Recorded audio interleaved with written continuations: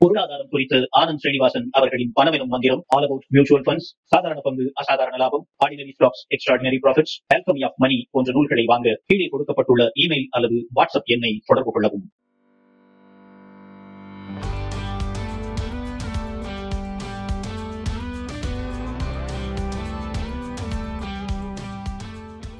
வணக்கம் good morning happy morning wonderful morning வாழ்க்கையில் வந்து நம்ம பெரியவங்கள்ட்ட நிறைய கற்றுக்கணும் நான் கற்றுண்ட பெரியவர் ஒருத்தர் வந்து சார்லி மங்கருங்கிறவர். சார்லி மங்கருக்கு இந்த வருஷத்தோட தொண்ணூத்தொம்பது வயசு ஆயிடுச்சு அடுத்த வருஷம் நூறு வயசு ஆகிடும் சார்லி மங்கர் வந்து லைஃப்பில் ஒரு நூறு வருஷத்தில் உலகத்தை ஃபுல்லாக பார்த்துட்டாரு.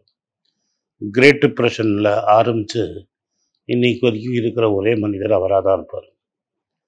கிரேட் டிப்ரெஷன் வரைச்ச அவருக்கு ஒரு பத்து வயசு கிட்ட இருந்திருக்கும். அவருக்கு வேர்ல்டு வார் டூ வரைச்ச இருபது வயசு வேர்ல்டு வார் டூவில் ஆர்மியில் ரேடாரில் ஒர்க் பண்ணார். அவர்கிட்டேருந்து நான் நிறைய விஷயம் கற்றுக்கிட்டேன் பட் இது கற்றுக்க கற்றுக்கின்றது ரொம்ப லேட்டாக கற்றுக்கிட்டேன்னு எனக்கு ஒரு வருத்தம். அதில் ஒரு அஞ்சாறு பாயிண்ட்டை உங்களுக்கு நான் சொல்லலாம்னு நினச்சேன். ஒன்று வந்து மற்றவங்கள பார்த்து பொறாமப்படுறதுங்கிறது ரொம்ப தவறு. பேராசையும் பொறாமையும் ரெண்டும் கச கசன்ஸ் அவனுக்கு இருக்கு எனக்கு இல்லைங்கிறது என்வின்னு சொல்லுவாங்க இங்கிலீஷில். அவன்கிட்ட இருக்கு பாரு. அவனுக்கு என்னோட டேலண்ட் ஜாஸ்தி. அதுதான் வந்து வெறுப்பு பொறாமை எல்லாத்துக்குமே காரணம். பேராசைங்கிறது கிரீடு இந்த பேராசைங்கிறது என்வியிலேருந்து தான் வரும். மன்ஸ் ஒருத்தன்ட்ட என்வி இல்லை அப்படின்னாலே லைஃப் நல்லா இருந்திருக்கும். லக்கிலி பை நேச்சர்னால் வந்து என்வேஸியாக இருந்ததில்லை அந்த தாயம் இந்த கையில் விடலையேன்னு எனக்கு ரொம்ப சின் பட்டதே கிடையாது. பட் முக்காவாசி நான் வாழ்க்கையில் அடிபட்டு கற்றுக்கிட்டது முக்காவாசி பேருக்கு அது உண்டுன்னு. அவர் சொல்லி நான் அதுக்கப்புறம் பார்த்து தான் பேராசை பெருநஷ்டம் நீங்கள் விஜய் மல்லையாவை எடுத்துக்கலாம் இல்லை பல பேர் எடுத்துக்கலாம் அனில் அம்பானி எடுத்துக்கலாம்.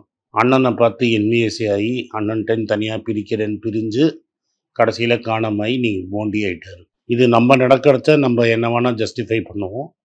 மற்றவங்கள பார்க்குறச்ச நம்ம கிளியராக சொல்லுவோம். ஸோ நம்ம மற்றவங்கள்ட்ட நிறைய இருக்குங்கிறத பார்த்து நம்ம பொறாமப்படுறதோ வெறுப்படிக்கிறதோ என்விஎஸாக இருக்கிறதோ ஒரு பெரிய தவறு. உலகத்தில் இருக்கிற எல்லா கட்டங்களும் எவ்வளோ அந்த எல்லா தவறுகளும் அதுலேருந்து தான் வரும். நீங்கள் வந்து ரியலாக சந்தோஷம் இருக்கணும். சந்தோஷமாக இருந்தால் உங்களுக்குள்ளே இருக்கிற வெறுப்பு உணர்வு ஹேட்ரட் அதெல்லாம் இருந்ததுன்னா நீங்கள் வாழ்க்கையில் நிஜமாகவே சந்தோஷமாக இருக்கவே முடியாது. அதனால் முதல் ஸ்டெப்பாக இந்த மற்றவங்கள பார்த்து பொறாமப்படுறத விட்டுருங்க. பொறாமப்படுறத விட்டிங்கன்னா ஆட்டோமேட்டிக்காக பேராசை போயிடும். நிறைய குடும்பத்தில் பேராசை பெருநஷ்டமாக நான் பார்த்துருக்குறேன். ஆனால் ரெண்டு பேரும் பேசுகிறச்ச யார் ரெண்டு பேரும் நாங்கள் ஜாஸ்தி விட்டு கொடுத்துட்டோம் தான் பேசுவாங்க. நீங்கள் விட்டு கொடுத்தா உங்கள் தம்பிக்கு தானே விட்டு கொடுக்குறீங்க இல்லை உங்கள் சிஸ்டருக்கு தான் விட்டு கொடுக்குறீங்க? வேறு யாருக்கும் விட்டு கொடுக்கல.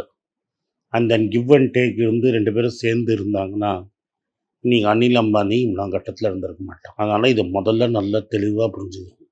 ரெண்டாவது வாழ்க்கையில் பொறுமை வேணும். பொறுத்தால் பூமி ஆழ்வார். இந்த பொறுமையாக இருக்கிறதுங்கிறது ரொம்ப கஷ்டம். ஏன்னா நம்மளுக்கு அகேன்ஸ்டாக உலகமே பேசுகிறத கூட நம்ம கான்ட்ரேரியனாக கரெக்டாக இருக்கணும். உலகமே நம்மளை முட்டாள்னு சொல்லணும் அப்போவும் நம்ம சும்மா இருக்கணும். ஸோ பொறுமை இல்லைன்னா ரொம்ப கஷ்டம். அதனால இப்போ நம்மளுக்கு ஒரு பொசிஷன் எடுப்போம். இப்போ என் லைஃபே பாருங்க நான் ஐடிசி சொன்னும் போது எல்லாரும் ஐடிசி வேணான்னாங்க நான் கிரிப்டோ தப்புன்னு கரெக்டாக சொன்னேன். ஆனால் எல்லாரும் கிரிப்டோ கரெக்டுங்கிற மாதிரி நம்மகிட்ட ஆர்கியூ பண்ணாங்க. ஆனால் அந்த பொறுமை வந்து நம்மளுக்கு இருக்கணும். உலகமே நம்மளுக்கு எதிர்த்து சொன்னாலும் நம்ம பிரின்சிபல் வந்து கரெக்டாக இருக்கணும். அப்படி இருந்தால் தான் நீங்கள் வாழ்க்கையில் ஜெயிக்க முடியும். அடுத்தது லேர்னிங் அவர் சொல்கிறது கடைசி நாள் வரைக்கும் நம்ம படித்தானோ சாக்ரேட்டிஸ் மாதிரி. தினம் நான் வந்து ஒரு நாலு பேப்பர் அஞ்சு பேப்பர் படிக்கணும். ஒரு ரெண்டு புஸ்தகம் கேட்கணும் ரெண்டு புஸ்தகம் கரூஸ் பண்ணணும். படிக்காமல் வாழ்க்கையில் நேரவே முடியாது. காலேஜோட படிக்கிறது நிறுத்திட்டோம்னா நம்மளுக்கு தான் நஷ்டம். அதனால் படிக்கிறதுங்கிறது கடைசி நாள் வரைக்கும் உண்டு.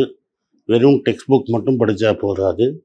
உங்கள் ஜென்ரல் ரீடிங் ரொம்ப ஐடியல் இல்லாட்டா டெக்ஸ்ட் புக் உங்கள் ஏரியா ஆஃப் சப்ஜெக்ட்டு எக்ஸ்பர்டீஸில் கரெக்டாக படிக்கணும். இல்லாட்டா வாழ்க்கை உங்களை தாண்டி குயிக்காக இந்த சைடால ஓடி போயிடும். அதனால படி படி. எதாக இருந்தாலும் கையில் எதை கிடைச்சாலும் படி படிக்கணும். இது எங்கள் அப்பாவுக்கு நான் நன்றி சொல்லணும். இதுவும் இவரை பார்க்கறதுக்கு முன்னாடியே பை ஆக்சிடென்ட்டு நம்மளுக்கு வந்துடுச்சு மூணாவது இதுதான் நான் அவர்கிட்ட கற்றுக்கிட்டது இவருக்கு முன்னாடி நான் அந்த செக்யூரிட்டி அனாலிசிஸு நம்பர்ஸு டார்கெட்டு இதெல்லாம் ரொம்ப சீரியஸாக பார்ப்போம் இவர் மூணாவது சொல்லி கொடுத்த பாடம் வாழ்க்கையில் வந்து நம்பர்ஸுங்கிறது ரொம்ப முக்கியம் கிடையாது. இந்த டேட்டா ட்ரிவன் வேர்ல்டில் டேட்டா எல்லாம் அப்படின்னு நீங்கள் நம்பினீங்கன்னா ரொம்ப கஷ்டம். டேட்டாவோட மோர் இம்பார்ட்டண்ட்டு நம்ம யோசிக்கிறது. நம்ம யோசித்தா தான் ஐடியா இருந்தால் தான் டேட்டாவை யூஸ் பண்ண முடியும். அதனால் திங்கிங்க்கு நம்ம வந்து ரொம்ப இம்பார்ட்டன்ஸ் கொடுக்கறது இல்லை அப்படிங்கிறத அவர் சொல்கிறாரு அதனால் திங்கிங்கிறது ரொம்ப இம்பார்ட்டன்ட் சம்டைம்ஸ் நம்பர்ஸ் எல்லாம் பர்ஃபெக்டாக இருக்கும். ஆனால் பிஸ்னஸில் ஒரு ஃபேட்டல் ஃப்ளா இருக்கும். அந்த ஃபேட்டல் ஃப்ளாவில் நம்ம கையே நம்ம தொடவே கூடாது. நீங்கள் பார்த்தீங்கன்னா இந்த நியூ வேர்ல்டு பிஸ்னஸ் எல்லாமே நான் அவாய்டு பண்ணது பியூர் திங்கிங் ஒரு பிஸ்னஸ் ப்ராஃபிட் பண்ணலன்னா பிஸ்னஸ்ஸு ஓடாது. கரன்சினா என்னன்னு நம்மளுக்கு டெஃபினேஷன் தெரியும். அந்த டெஃபினேஷனில் செட் ஆகலைன்னா என்ன இனோவேஷன் பண்ணாலும் கரன்சி இருக்காது அப்படிங்கிறது நம்மளுக்கு தெரியாது. நம்ம சடனாக புத்திசாலி ஆக முடியாது. பரப்பிலேயே புத்திசாலி ஆக முடியாது. புத்திசாலிங்கிறது நம்ம டெய்லி படிக்க படிக்க படிக்க தான் வரும். So at of end of each day நம்ம என்ன கற்றுக்கிட்டோம்னு நம்ம பார்க்கணும். வாழ்க்கையில் நம்ம இந்த இந்தந்த டேல இது இது கற்றுக்கிட்டோம் அப்படின்னு நம்மளுக்கு இருந்தாலே நம்ம வாழ்க்கையில் முன்னேறிடுவோம். அதனால் வாழ்க்கையில் அந்தந்த ஸ்டெப்பை அந்தந்த ஸ்டேஜில் நம்ம எடுக்கணுங்கிறது என்னோட கருத்து. ஒரு ஒரு நாளைக்கு கால் பர்சன்ட் இம்ப்ரூவ் பண்ணால் கூட ஒரு வருஷத்தில் எவ்வளோ இம்ப்ரூவ் பண்ணுவீங்கன்னு பாருங்கள் ஒரு நாளைக்கு ஒரு பர்சன்ட் இம்ப்ரூவ் பண்ணால் ஒரு வருஷத்துக்கு த்ரீ சிக்ஸ்டி ஃபைவ் கால் பர்சன்ட்னா நியர்லி ஹண்ட்ரட் பர்சன்ட் வாழ்க்கையில் ஒரு வருஷத்துக்கு டபுள் பண்ணிங்கன்னா நீங்கள் எங்கேயோ போயிடுவீங்க. இதை முதல்ல கற்றுக்கிட்டோம்னாலே வாழ்க்கையில் ரொம்ப முக்கியம். அடுத்தது பணம் தான் முக்கியம்னு நீங்கள் நினச்சிங்கன்னா லைஃப்பில் முன்னேறவே மாட்டீங்க. பணங்கிறது important so it can buy you time most important time இப்போ நினச்சா நான் ரெக்கார்ட் பண்ணுவேன் நினச்சா நான் ரெக்கார்ட் பண்ண மாட்டேன். ஏன்னா இதை நம்பி நான் இல்லை. அது மாதிரி உங்களுக்கு டைம் உங்களுக்கு பிடிச்சதை செய்யறதுக்கு டைம் வேணும். அதை தான் பணம் கொடுக்குமே தவிர பணம் தான் எல்லாம் நினச்சிங்கன்னா நீங்கள் வாழ்க்கையே காணாமல் போயிடும். இதெல்லாம் இவர்கிட்ட நான் கற்றுன்றது நீங்களும் கற்றுப்பீங்கன்னு நான் நினைக்கிறேன். நன்றி வணக்கம். உங்கள் பேராதரவுக்கு மிக்க நன்றி. நான் டோட்டலாக ஐந்து புஸ்தகங்கள் எழுதியிருக்கிறேன். மூணு வந்து ஆங்கிலத்தில் எழுதியிருக்கிறேன். அதில் ரெண்டை வந்து தமிழாக மொழிபெயர்த்துருக்காங்க. ஸோ டோட்டலாக அஞ்சு புஸ்தகம் ஆச்சு. இந்த அஞ்சு புஸ்தகத்துக்கு ஹார்ட் காப்பி வேணும்னா நீங்கள் கீழே இருக்கிற வாட்ஸ்அப் நம்பருக்கு மெசேஜ் அனுப்பிச்சிங்கன்னா எங்கள் டீம் உங்களை காண்டாக்ட் பண்ணுவாங்க. இதே யாராவது ஃபைனான்ஸ் நியூஸ் படிக்கணும்னு ஃபீல் பண்ணீங்கன்னா தயவு செஞ்சு மணி பேஜ் டாட் காமை விசிட் பண்ணுங்கள்